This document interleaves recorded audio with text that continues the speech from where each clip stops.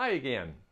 Let's talk about wisdom today. Wisdom is so amazing that wisdom will help you achieve just about anything you want to on earth because wisdom is what it takes to be able to do the things, to make the decisions that are right and that won't get you into trouble. So, someone would ask, Well, how do I get wisdom? Well, don't worry. Wisdom's right out there already for us because the eighth proverb says, Does not wisdom cry out in understanding, lift up her voice? She takes her stand on the top of the high hill beside the way where the paths meet. So wisdom isn't hidden. Wisdom is always calling out to us, always helping us to know more about what to do, how to act, how what to think, and how to treat people.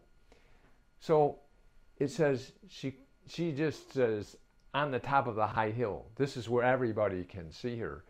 And so nobody has really an excuse to act without wisdom because wisdom is always there for us. She takes her stand on the top of the high hill beside the way where the paths meet. She cries out by the gates at the entry of the city, at the entrance of the doors. So this is where you can find wisdom. She is at every opening of the city. If you go to the store, you can find her there. If you go to the library, you can find her there. All you have to do is seek. And when you get wisdom, you're going to be really happy because wisdom comes from the mouth of the Lord. Every time He speaks, wisdom is coming out. And He loves you, so when you get wisdom, you're going to act in a way that's pleasing to Him. My request of you today is to try to get more wisdom. Try to get her.